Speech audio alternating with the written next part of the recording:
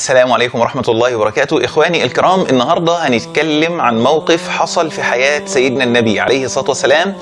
كان موقف صعب جدا جدا من المواقف اللي مرت على النبي عليه الصلاة والسلام وعلى الصحابة رضي الله تعالى عنهم اللي شافوا بعينيهم النبي عليه الصلاة والسلام وهو يؤذى. هذا الموقف من أكثر المواقف التي أوذي فيها رسول الله صلى الله عليه وسلم من المشركين. هذه القصة بيحكيها لنا سيدنا عبد الله بن مسعود رضي الله تعالى عنه الذي رأى هذه القصة بعينه رأى هذا الموقف بعينه رضي الله تعالى عنه قال بينما رسول الله صلى الله عليه وسلم قائم يصلي عند الكعبة وجمع من قريش في مجالسهم. يعني سيدنا النبي عليه الصلاة والسلام دخل المسجد الحرام. طبعا قبل الهجرة كانت قبلة المسلمين إلى بيت المقدس. فكان النبي صلى الله عليه وآله وسلم يجعل الكعبة بينه وبين بيت المقدس لأنه كان يحب أن يتجه إلى الكعبة المشرفة. فدخل النبي صلى الله عليه وآله وسلم إلى الكعبة المشرفة واستقبل الكعبة بينه وبين بيت المقدس وبدأ يصلي عليه الصلاة والسلام. قال عبد الله بن مسعود رضي الله تعالى عنه إذ قال قائل منهم يعني واحد من هؤلاء أكابر المشركين هؤلاء قال ألا تنظرون إلى هذا المرائي؟ يعني انظروا إلى هذا الذي يرائي بأنه متعبد ويظهر لنا أنه متعبد. أيكم يقوم إلى جزور آل فلان؟ الجزور اللي هو الجمل. فيعمد إلى فرثها ودمها وسلاها. يعني يجيب من الوسخ والقدر بتاع هذا الجزور الجمال ديت. يجيب من الروث بتاعها ومن السلا اللي هو الدم الذي يكون بعد الولادة لما البهيمة بتلد بينزل منها دم وأشياء من هذا القبيل. من يأتي بهذا القذر حتى يضعه على ظهر محمد عندما يسجد؟ قال فيعمد إلى فرثها ودمها وسلاها فيجيء به ثم يمهله حتى إذا سجد وضعه بين كتفيه مين يعمل كده؟ شوف الشياطين دول. قاعدين طب هو عمل لكم إيه؟ عليه الصلاة والسلام. ده هو بيصلي لله عز وجل. أنتوا إيه اللي مزعلكم؟ مش عايزين تؤمنوا بيه؟ خلاص سيبوه في حاله. لكم دينكم ولي دين. ولكن لا هم عايزين يسيئوا إلى النبي عليه الصلاة والسلام. يريدوا ان هم يؤذوا النبي صلى الله عليه وآله وسلم حتى يكون هذه رساله لمن آمن به أو لمن هو متردد في الإيمان به. يقولوا لهم شوفوا إحنا بنعمل إيه في محمد. فأنتوا لو آمنتم بمحمد إحنا هنهنكم وهنؤذيكم وهيصيبكم منا الأذى الشديد جدا. فيكون هذا التصرف فيه ترهيب لمن أراد أن يؤمن بمحمد صلى الله عليه وآله وسلم. قال فانبعث أشقاهم. أشقاهم اللي هو عقبة ابن أبي معيط لعنه الله. قال فلما سجد رسول الله صلى الله عليه وسلم وضعه بين كتفي راح جاب فعلا هذا القذر وهذا الوسخ. فلما سجد النبي صلى الله عليه وآله وسلم جاء بهذه الأشياء ووضعها على كتف على ظهر النبي عليه الصلاة والسلام. وهو ساجد بأبي هو أمي صلى الله عليه وآله وسلم. قال عبد الله بن مسعود وثبت النبي صلى الله عليه وسلم ساجدا. لما عملوا كده النبي ساجد لقى بيحطوا على ظهره الشريف عليه الصلاة والسلام هذه الأشياء هذه القذرات عمل إيه النبي عليه الصلاة والسلام؟ فضل ثابت في سجوده عليه الصلاة والسلام. تخيل المنظر ده معايا؟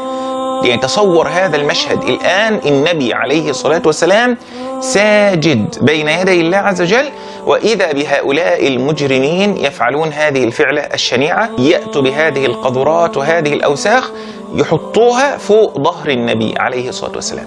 فالنبي عليه الصلاة والسلام يعمل إيه؟ يثبت. يثبت يعني فضل ساجد ما رفعش من سجوده عليه الصلاة والسلام. قال وثبت النبي صلى الله عليه وسلم ساجدا. قال فضحكوا حتى مال بعضهم إلى بعض من الضحك. شوف الإجرام.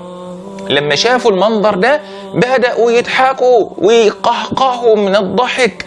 وإيه يعني فرحانين قوي ويعني مبسوطين خالص. لدرجة إن بقوا يميلوا على بعض بال يعني كأنهم خلاص عملوا إنجاز كبير جدا.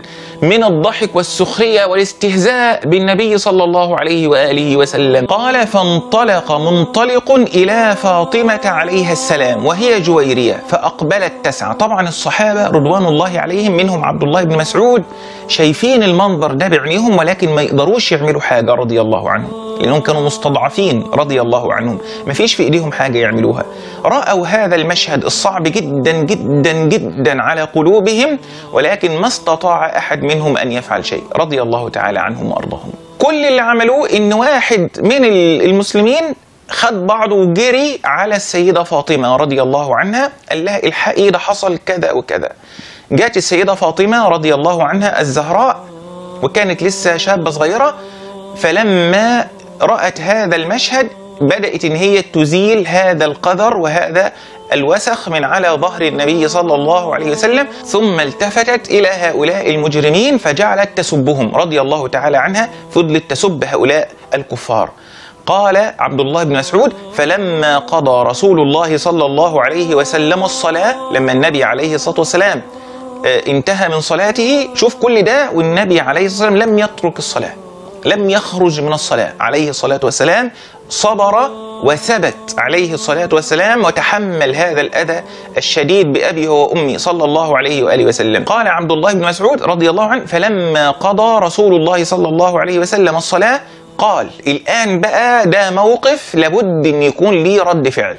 لأن خلي بالك إن أحيان كتيرة لما بيكون حد قليل الأدب ويجد الحد الشخص اللي قدامه ده اللي هو بيقل أدبه عليه إنسان محترم وإنسان متسامح وإنسان طيب وإنسان حليم وبيحلم عليه وبيعفو عنه وبيسامحه وبيقابل الإساءة بالإحسان أحيانا لما بيلاقي اللي قدامه كده ممكن هذا يكون رادع ليه يعني يتكسف على دمه. لما يلاقي اللي قدامه ده إنسان محترم وهو عمال يقل أدبه عليه وهو إنسان محترم ممكن ده يخليه يبطل قلة أدب. ولكن في نوع من الناس نوع من البشر للأسف الشديد ما بينفعش معاهم كده. لو صبرت عليه ولو حلمت عليه ولو آه، سامحته ولو قابلت إساءته بالإحسان بيفهم إنك أنت ضعيف. فيقوم يتمادى ويتمادى ويتمادى ويتجرأ أكثر وأكثر. فالشخص ده أو النوعية دي من الناس ده لابد إن يجي في وقت من الأوقات ويشوف بقى العين الحمراء.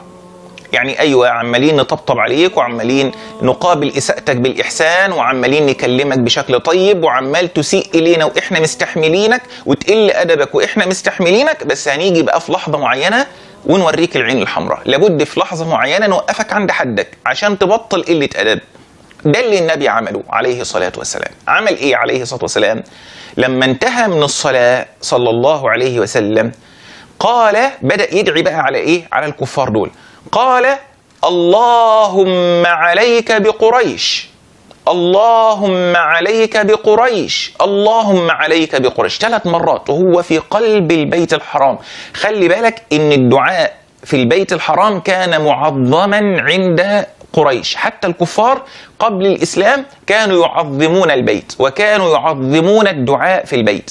يعني لو حد دعا على حد في الكعبة كان ده بيعتبر بالنسبة لهم شيء كبير جدا جدا جدا لدرجة إن هو لما قال كده عليه الصلاة والسلام أخذوا. يعني بعد ما كانوا عاملين يضحكوا ويقهقهوا ويميلوا بعضهم على بعض. أول ما سمعوا النبي بيدعي عليهم أخذوا. كله اتلجم. كله اتلجم دلوقتي. فقال النبي صلى الله عليه وآله وسلم اللهم عليك بعمرو بن هشام اللي هو أبو جهل لعنه الله. وعتبة بن ربيعة وشيبة بن ربيعة والوليد بن عتبة وأمية بن خلف وعقبة بن أبي معيط وعمارة بن الوليد. اللي كانوا قاعدين دول عملوا الموقف البايخ ده اللي كانوا قاعدين دول دعا عليهم رسول الله صلى الله عليه وآله وسلم بالاسم واحد واحد. دعا عليهم جميعا بأسمائهم لعنهم الله. قال عبد الله بن مسعود رضي الله عنه فوالله لقد رأيتهم صرعى يوم بدر ثم سحبوا إلى القليب قليب بدر. القليب اللي هو البئر الذي دفن فيه هؤلاء. الكفار الذين قتلوا في غزوة في غزوة بدر من الكفار النبي عليه الصلاة والسلام أمر الصحابة أن هم يلقوا جثثهم في القليب. القليب ده بئر قديم رموا فيه هذه الجثث. لأن طبعا الكفار لا يغسلوا ولا يكفنوا ولا يصلى عليهم. قال ثم قال رسول الله صلى الله عليه وسلم وأتبع أصحاب القليب لعنة. هؤلاء الذين قتلوا في غزوة بدر من الكفار لعنهم الله. الموقف ده يعلمنا الحديث ده طبعا رواه الإمام البخاري في صحيحه والموقف ده يعلمنا فوائد كتيرة جدا. من أهمها إن ال- المسلم المفروض يكون إنسان طيب ويكون إنسان محترم ويكون إنسان متسامح ويقابل السيئة بالحسنة ويعفو عن المسيء. كل دي معاني جميلة. ينبغي أن هي تكون موجودة في المسلم.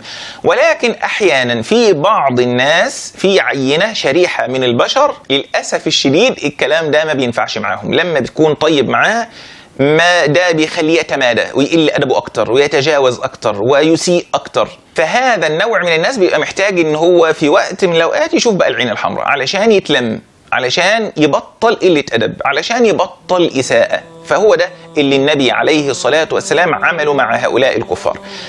طبعا إحنا في الإسلام ما عندناش من ضربك على خدك الأيمن فأدر له خدك الأيسر. ده كلام غير واقعي ما فيش حاجة اسمها كده. حتى اللي هم بيعتقدوا هذه العقيدة ما بيطبقوهاش ما فيش حد بيطبق العقيدة دي ما فيش حاجة اسمها كده.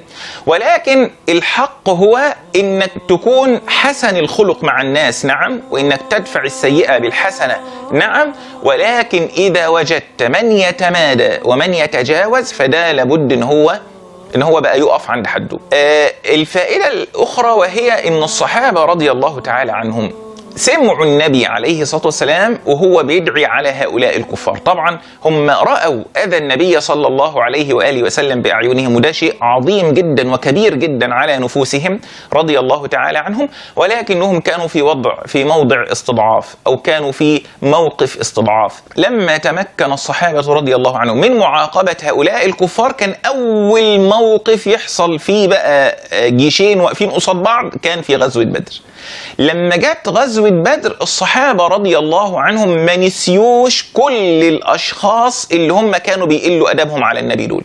كل الناس دول الصحابة ما نسيهمش وعاقبوهم جميعا. عاقبوا كل هؤلاء المجرمين على ما قدموه من الإساءة للنبي صلى الله عليه وآله وسلم. فكان أول موقف حصل فيه آه، إن بقى في جيشين جيش مسلم قصاد جيش كافر. الصحابة ما نسيوش الكفار دول اللي هم آذوا النبي عليه الصلاة والسلام فانتقموا لرسول الله صلى الله عليه وآله وسلم. ده موقف مهم جدا مر في حياة سيدنا النبي عليه الصلاة والسلام. لابد إن إحنا نفهمه وإن إحنا نتعلمه وإن إحنا نفهم قد إيه النبي عليه الصلاة والسلام آه، لاقى الأذى البالغ من المشركين حتى يؤدي هذه الرسالة. ولما نزل عليه الوحي وأخذته خديجة رضي الله تعالى عنها إلى ورقة بن نوفل قال له ورقة بن نوفل ما جاء أحد بمثل ما جئت به إلا أوذي. ما فيش حد هيصدع في الناس بالحق ويتكلم بالحق إلا لابد إن هو هيؤذى. ما جاء أحد. بمثل ما جئت به يعني من الحق إلا أوذي. لأن كثير جدا جدا من الناس من يكون الحق مصادم لأهوائهم ولو اتبع الحق أهواءهم لفسدت السماوات والأرض. فالحق جاء بمخالفة أهواء الناس. فعلشان كده الأنبياء كل الأنبياء تعرضوا للأذى عليهم الصلاة والسلام. وكل من حمل رسالات الأنبياء من الدعاء إلى الله عز وجل تحملوا الأذى في سبيل الله عز وجل. ما جاء أحد بمثل ما جئت به إلا أوذي فكان هذا ما وقع للنبي صلى الله عليه وآله وسلم. يا رب نكون استفدنا من هذه القصة. جزاكم الله خيرا. والسلام عليكم ورحمة الله وبركاته.